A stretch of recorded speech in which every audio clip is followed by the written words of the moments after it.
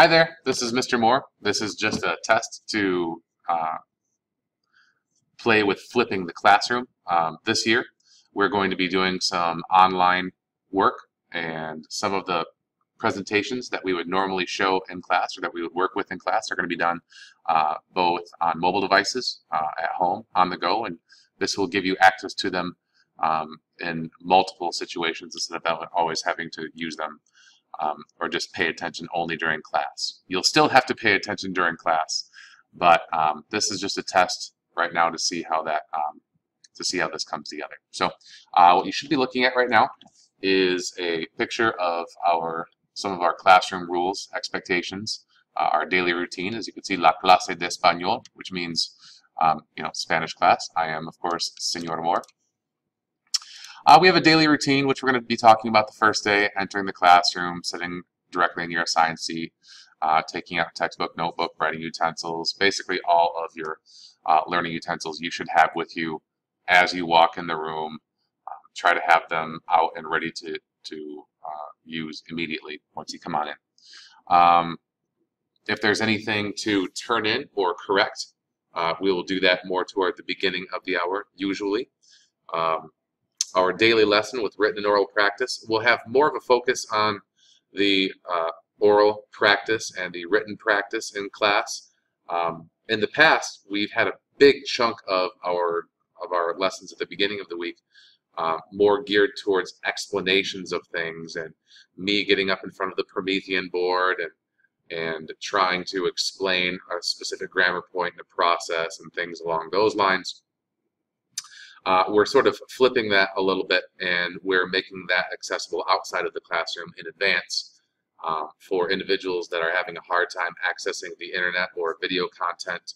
Uh, there will be time in class for you to be able to view that. I, will show these lessons on the Promethean board as well as we're working on our, our other classroom activities. Now, what we'll probably end up doing is spending a lot more time instead of being rushed to finish our activities at the end of class we'll have more time throughout the course of the hour because I won't be giving a big long lecture to the students. That will be something that they're that they're uh, ingesting on their own time outside of class or as the video is playing during class. And I'll be able to circulate throughout the room or have students uh, come to me and able to help them with the practice side of this a little bit more and hopefully we can ensure a little bit better uh, retention along the way. So anyways, uh, I digress. Uh, homework or assigned time for work and our tutoring. Hopefully we'll have more time since we're flipping things around and allowing you to view these uh, items online. Other class procedures.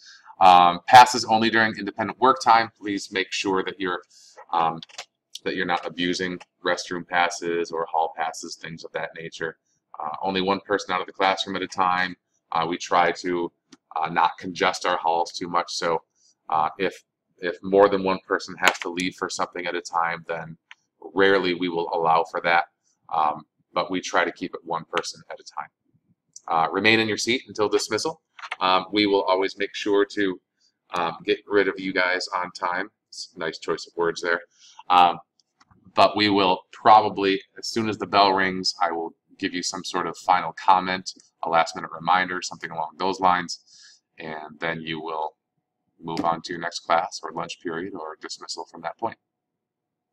Um, en español, whenever possible, recuerden ustedes, es una clase de español, entonces vamos a hablar um, muchos tiempos en español totalmente cuando podemos, cuando queremos. Um, so it'll be important that you're continuing to try to listen, try to decipher, memorize all of your vocabulary. This isn't going to be something that happens overnight, but it will be something that happens over time. Our weekly routine, usually on Mondays, we begin new lessons. Tuesdays will usually be vocabulary quizzes, workbooks, more speaking and listening practice. Uh, Wednesdays, we'll usually have some sort of a, a, a an assignment um, that is from the textbook. We'll be correcting things from the days previous as well.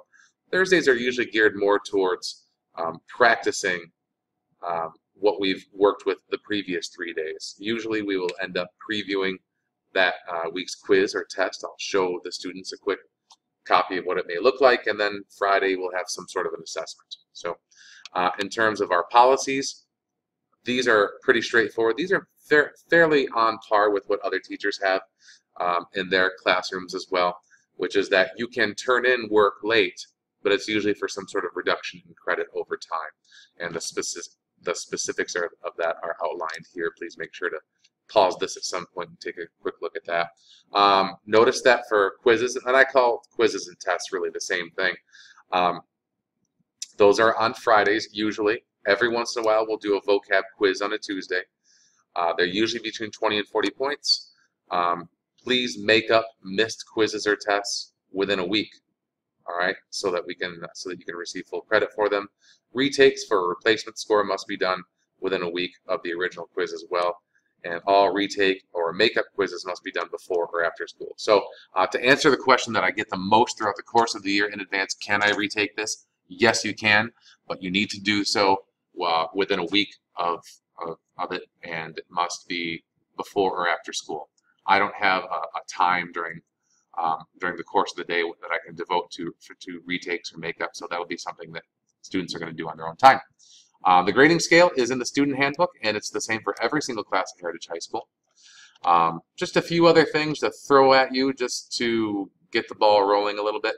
Um, we will be doing an activity on the first or second day, which has to do with identifying some different cognates in Spanish, and we'll be talking about some things in groups as well. This is one of several of these styles of assignments that we have. Um, we will be doing a pretty big vocab list to start out. You'll notice that there are some phrases that are involved in this as well, some things that you need to understand and hear, some things that you need to be able to say very well in class, the different colors in Spanish, the different numbers in Spanish. And again, all of these are, are going to be given to you. You're going to have a hard copy of this that you're to keep in a folder. And hopefully, um, little by little, we can um, we can gain some understanding and we will practice this on a daily basis. And on that very first Friday, we're going to have a little quiz, and the quiz will look something like this. So you won't have to have everything memorized orally the first time.